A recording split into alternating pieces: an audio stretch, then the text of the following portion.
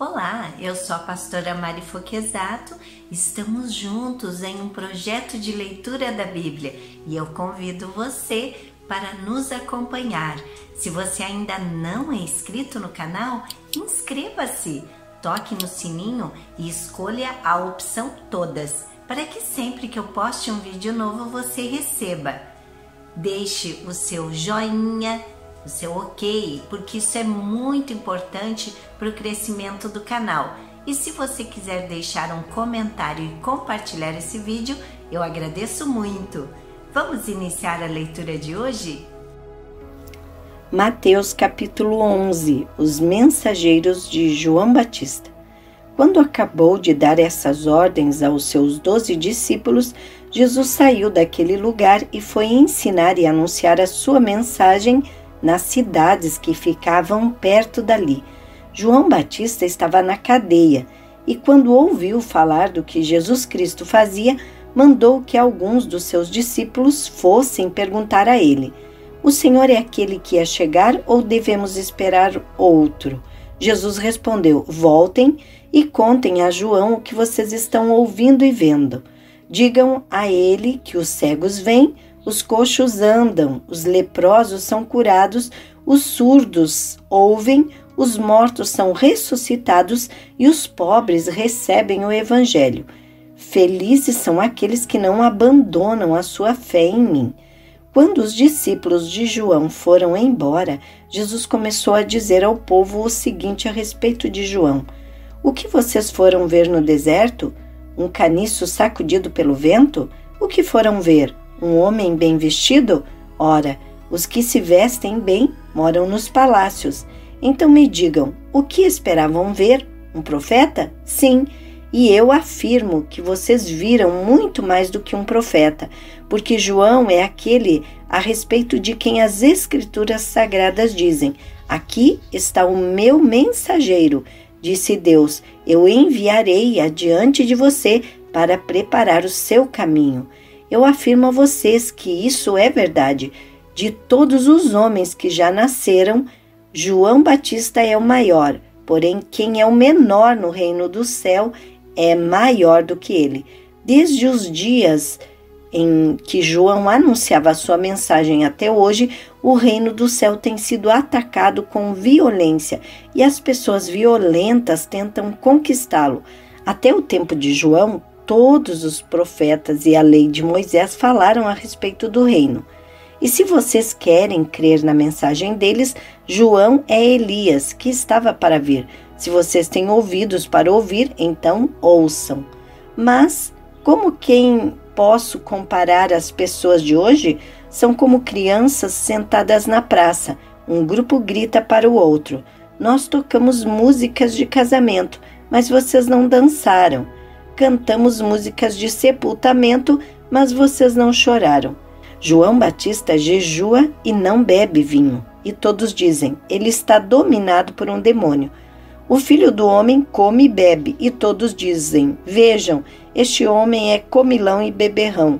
É amigo dos cobradores de impostos e de outras pessoas de má fama.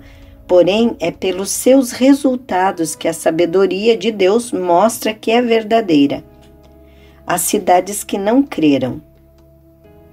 Então Jesus começou a acusar as cidades onde tinha feito muitos milagres. Ele fez isso porque os seus moradores não haviam se arrependido dos seus pecados. Jesus disse: Ai de você, cidade de Corazim! Ai de você, cidade de Betsaida! Porque se os milagres que foram feitos em vocês tivessem sido feitos nas cidades de Tiro e de Sidom, os seus moradores já teriam abandonado seus pecados há muito tempo. E para mostrarem que estavam arrependidos, teriam vestido roupa feita de pano grosseiro e teriam jogado cinzas na cabeça. Pois eu afirmo a vocês que no dia do juízo, Deus terá mais pena de Tiro e de Sidom do que de vocês, Corazim e Betsaida. E você, cidade de Cafarnaum, acha que vai subir até o céu? Pois será jogada no mundo dos mortos, porque se os milagres que foram feitos aí tivessem sido feitos na cidade de Sodoma, ela existiria até hoje, pois eu afirmo a vocês que no dia do juízo Deus terá mais pena de Sodoma do que de você, Cafarnaum. Um convite de Jesus. Naquela ocasião, Jesus disse: Ó Pai, Senhor do céu e da terra, eu te agradeço porque tens mostrado às pessoas sem instrução aquilo que escondeste dos sábios e dos instruídos. Sim, ó Pai, tu tivestes prazer em fazer isso.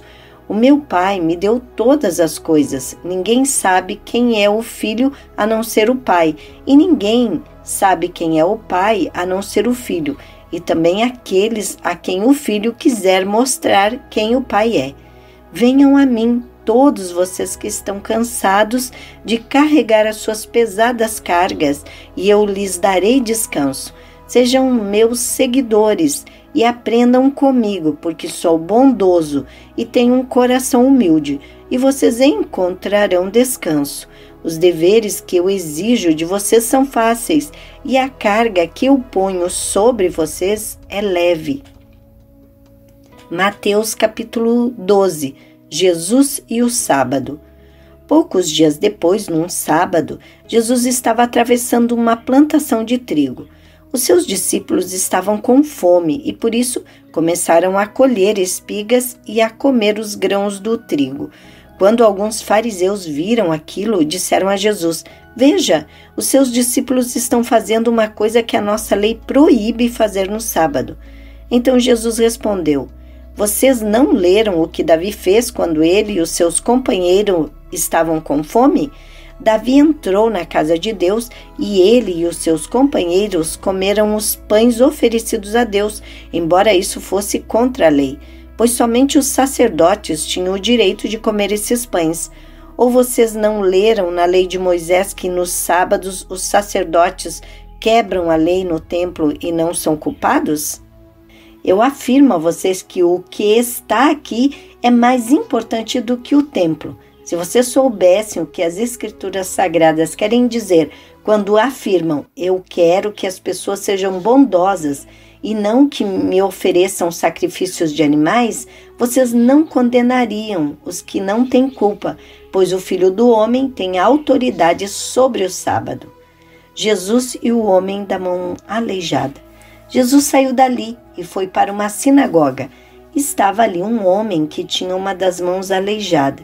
Então, algumas pessoas que queriam acusar Jesus de desobedecer à lei lhe perguntaram: É contra a nossa lei curar no sábado?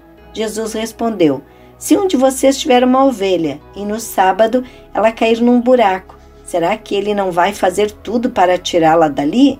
Pois uma pessoa vale muito mais do que uma ovelha, portanto, a nossa lei permite ajudar os outros no sábado.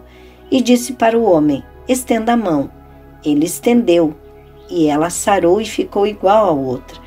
Então os fariseus que estavam ali saíram e começaram a fazer planos para matar Jesus, o servo escolhido de Deus. Quando Jesus soube disso, foi embora dali e muita gente o seguiu. Ele curou todos os que estavam doentes e mandou que não contassem nada a ninguém a respeito dele. Isso aconteceu para se cumprir o que o profeta Isaías tinha dito. Disse Deus: Aqui está o meu servo que escolhi, aquele que amo e que dá muita alegria ao meu coração. Eu porei nele o meu espírito e ele anunciará o meu julgamento a todos os povos. Não discutirá nem gritará, nem fará discurso nas ruas. Não esmagará o galho que está quebrado, nem apagará a luz que já está fraca. Ele agirá assim até que a causa da justiça seja vitoriosa e todos os povos vão pôr nele a sua esperança. O poder de Jesus para expulsar demônios. Então levaram a Jesus um homem que era cego e mudo, porque estava dominado por um demônio. Jesus o curou e ele começou a ver e a falar. A multidão ficou admirada e perguntava: Será que esse homem é o filho de Davi? Alguns fariseus ouviram isso e responderam: é Beuzebu, o chefe dos demônios, quem dá poder a esse homem para expulsar demônios. Mas Jesus conhecia os pensamentos deles e disse: O país que se divide em grupos que lutam entre si certamente será destruído, e a cidade ou a família que se divide em grupos que lutam entre si também será destruída. Assim, se no reino de Satanás um grupo está combatendo contra o outro, isso quer dizer que esse reino já está dividido e logo vai desaparecer. Vocês dizem que eu expulso demônios porque Beuzebu me dá poder para fazer isso. Mas, se é assim, quem dá aos seguidores de vocês o poder para expulsar demônios? Assim, os seus próprios seguidores provam que vocês estão completamente enganados. Na verdade, é pelo poder de Deus que eu expulso demônios. Isso prova que o reino de Deus já chegou até vocês. Ninguém pode entrar na casa de um homem forte e roubar os seus bens sem primeiro amarrá-lo. Somente assim essa pessoa poderá levar as coisas que ele tem em casa. Quem não é a meu favor é contra mim, e quem não me ajuda a juntar está espalhando. Por isso eu afirmo a vocês que as pessoas serão perdoadas por qualquer pecado ou blasfêmia que disserem contra Deus, mas quem blasfemar contra o Espírito Santo não será perdoado. Se alguém disser alguma coisa contra o Filho do Homem, será perdoado, mas quem falar contra o Espírito Santo não será perdoado nem agora, nem no futuro. A árvore e as suas frutas. Vocês só poderão ter frutas boas se tiverem uma árvore boa. Mas se tiverem uma árvore que não presta, vocês terão frutas que não prestam porque é pela qualidade das frutas que sabemos se uma árvore é boa ou não presta. Ninhada de cobras venenosas. Como é que vocês podem dizer coisas boas se são maus? Pois a boca fala do que o coração está cheio. A pessoa boa tira o bem do seu depósito de coisas boas, e a pessoa má tira o mal do seu depósito de coisas más. Eu afirmo a vocês que no dia do juízo Cada pessoa vai prestar contas de toda palavra inútil que falou, porque as suas palavras vão servir para julgar se você é inocente ou culpado. O pedido de um milagre.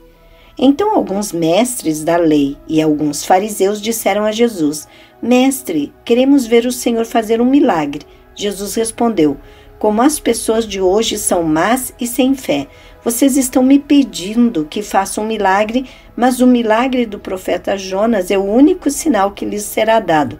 Porque assim como Jonas ficou três dias e três noites dentro de um grande peixe, assim também o filho do homem ficará três dias e três noites no fundo da terra.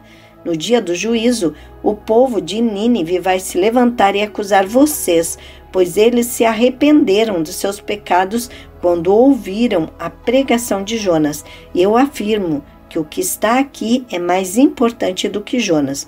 No dia do juízo, a rainha de Sabá vai se levantar e acusar vocês, pois ela veio de muito longe para ouvir os sábios ensinamentos de Salomão. E eu afirmo que o que está aqui é mais importante do que Salomão. A volta do espírito mau. Jesus continuou: quando um espírito mau sai de alguém, anda por lugares sem água procurando onde descansar, mas não encontra. Então diz: Vou voltar para minha casa de onde saí. Então volta e encontra a casa vazia, limpa e arrumada. Depois sai, vai buscar outros sete espíritos piores ainda e todos ficam morando ali. Assim, a situação daquela pessoa fica pior do que antes. E isso também acontecerá com esta gente má de hoje. A mãe e os irmãos de Jesus. Quando Jesus ainda estava falando ao povo, a mãe e os irmãos dele chegaram. Ficaram do lado de fora e pediram para falar com ele. Então alguém disse a Jesus: Escute, a sua mãe e os seus irmãos estão lá fora e querem falar com o Senhor. Jesus perguntou: Quem é a minha mãe e quem são os meus irmãos? Então apontou para os seus discípulos e disse: Vejam, aqui está a minha mãe e os meus irmãos, pois quem faz a vontade do meu Pai que está no céu é meu irmão, minha mãe e minha irmã. Mateus capítulo 13. Naquele mesmo dia, Jesus saiu de casa, foi para a beira do lago da Galileia, sentou-se ali e começou a ensinar.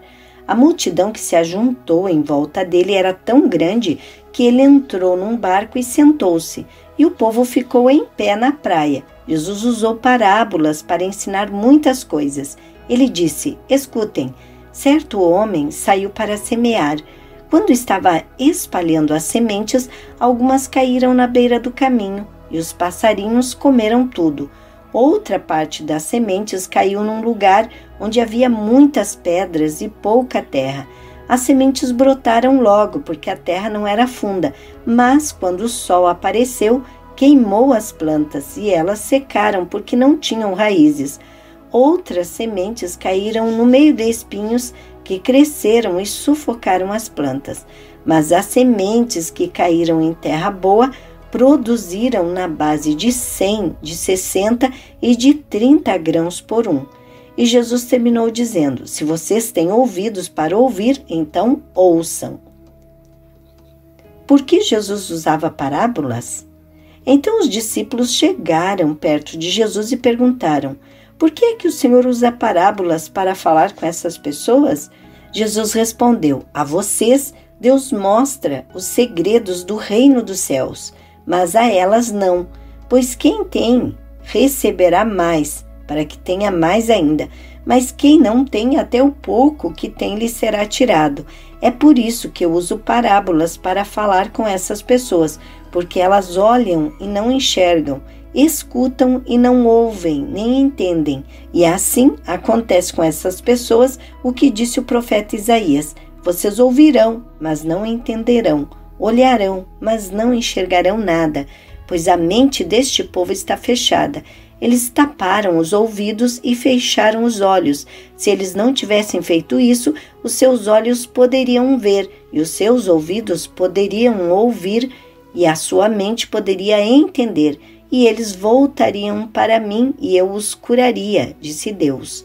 Jesus continuou: Mas vocês, como são felizes, pois os seus olhos veem e os seus ouvidos ouvem. Eu afirmo a vocês que isso é verdade. Muitos profetas e muitas outras pessoas do povo de Deus gostariam de ver o que vocês estão vendo, mas não puderam, e gostariam de ouvir o que vocês estão ouvindo, mas não ouviram. Jesus explica a parábola do semeador. Então escutem e aprendam o que a parábola do semeador quer dizer. As pessoas que ouvem a mensagem do reino mas não entendem, são como as sementes que foram semeadas à beira do caminho. O maligno vem e tira o que foi semeado no coração delas. As sementes que foram semeadas onde havia muitas pedras são as pessoas que ouvem a mensagem e a aceitam logo com alegria, mas dura pouco porque não tem raiz e quando, por causa da mensagem, chegam os sofrimentos e as perseguições, elas logo abandonam a sua fé. Outras pessoas são parecidas com as sementes que foram semeadas no meio dos espinhos. Elas ouvem a mensagem, mas as preocupações deste mundo e a ilusão das riquezas sufocam a mensagem, e essas pessoas não produzem frutos. E as sementes que foram semeadas em terra boa são aquelas pessoas que ouvem e entendem a mensagem e produzem uma grande colheita. Umas 100, outras 60 e ainda outras 30 vezes mais do que foi semeado. O joio. Jesus contou outra parábola. Ele disse ao povo: O reino do céu é como um homem que semeou sementes boas nas suas terras. Certa noite, quando todos estavam dormindo, veio um inimigo, semeou no meio do trigo uma erva ruim, chamada joio, e depois foi embora. Quando as plantas cresceram e se formaram as espigas, o joio apareceu. Então os empregados do dono das terras chegaram e disseram: Patrão, o senhor semeou sementes boas nas suas terras. De onde será que veio esse joio? Foi algum inimigo que fez isso respondeu ele. E eles perguntaram: O senhor quer que nós arranquemos o joio? Não, respondeu ele, porque quando vocês forem tirar o joio, poderão arrancar também o trigo. Deixem o trigo e o joio crescerem juntos até o tempo da colheita. Então Eu direi aos trabalhadores que vão fazer a colheita: arranquem primeiro o joio e amarrem em feixes para ser queimado. Depois colham o trigo e ponham no meu depósito. A semente de mostarda. Jesus contou outra parábola. Ele disse ao povo: O reino do céu é como uma semente de mostarda que um homem pega e semeia na sua terra. Ela é a menor de todas as sementes, mas quando cresce, torna-se a maior de todas as plantas. Ela até chega a ser uma árvore, de modo que os passarinhos vêm e fazem ninhos nos seus ramos. O fermento. Jesus contou mais esta parábola para o povo. O reino do céu é como o fermento que uma mulher pega e mistura em três medidas de farinha, até que ele se espalhe por toda a massa. O uso das parábolas. Jesus usava parábolas para dizer tudo isso ao povo. Ele não dizia nada a eles sem ser por meio de parábolas. Isso aconteceu para se cumprir o que o profeta tinha dito. Usarei parábolas quando falar com esse povo e explicarei coisas desconhecidas desde a criação do mundo. Jesus explica a parábola do joio. Então Jesus deixou a multidão e voltou para casa. Os discípulos chegaram perto dele e perguntaram: Conte para nós o que quer dizer a parábola do joio.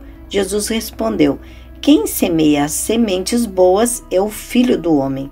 O terreno é o mundo. As sementes boas são as pessoas que pertencem ao reino, e o joio as que pertencem ao maligno. O inimigo que semeia o joio é o próprio diabo. A colheita é o fim dos tempos, e os que fazem a colheita são os anjos. Assim como o joio é ajuntado e jogado no fogo, assim também será o fim dos tempos. O filho do homem mandará os seus anjos e eles ajuntarão e tirarão do seu reino todos os que fazem com que os outros pequem e também todos os que praticam o mal. Depois os anjos jogarão essas pessoas na fornalha de fogo, onde vão chorar e ranger os dentes de desespero. Então o povo de Deus brilhará como o sol no reino do seu Pai.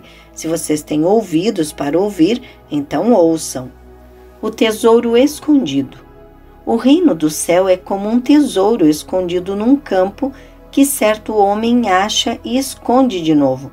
Fica tão feliz que vende tudo que tem e depois volta e compra o campo. A pérola. O reino do céu é também como um comerciante que anda procurando pérolas finas quando encontra uma pérola que é mesmo de grande valor, ele vai, vende tudo o que tem e compra a pérola. A rede. O reino do céu é ainda como uma rede que é jogada no lago. Ela apanha peixes de todos os tipos e, quando está cheia, os pescadores a arrastam para a praia e sentam para separar os peixes. Os que prestam são postos dentro dos cestos e os que não prestam são jogados fora. No fim dos tempos também será assim: os anjos sairão e separarão as pessoas más das boas, e jogarão as pessoas más na fornalha de fogo, e ali elas vão chorar e ranger os dentes de desespero. Verdades novas e verdades velhas. Então Jesus perguntou aos discípulos: Vocês entenderam essas coisas? Sim, responderam eles. Jesus disse: Por isso quer dizer que todo mestre da lei que se torna discípulo no reino do céu é como um pai de família que tira do seu depósito coisas novas e coisas velhas. Jesus em Nazaré. Quando Jesus acabou de contar essas parábolas, saiu dali e voltou para a cidade de Nazaré, onde ele tinha morado. Ele ensinava na sinagoga e os que o ouviam ficavam admirados e perguntavam: De onde vem a sabedoria dele e o poder que ele tem para fazer milagres? Por acaso ele não é o filho do carpinteiro? A sua mãe não é Maria? Ele não é irmão de Tiago, José, Simão e Judas? Todas as suas irmãs não moram aqui? De onde é que ele consegue tudo isso? Por isso ficaram desiludidos com ele. Mas Jesus disse: Um profeta é respeitado em toda parte, menos na sua terra e na sua casa. Jesus não pôde fazer muitos milagres ali porque eles não tinham fé. Amém. Terminamos aqui a leitura de hoje e agradeço a você que ficou até o final desse vídeo. Tenha um dia vitorioso. Deus abençoe sua vida.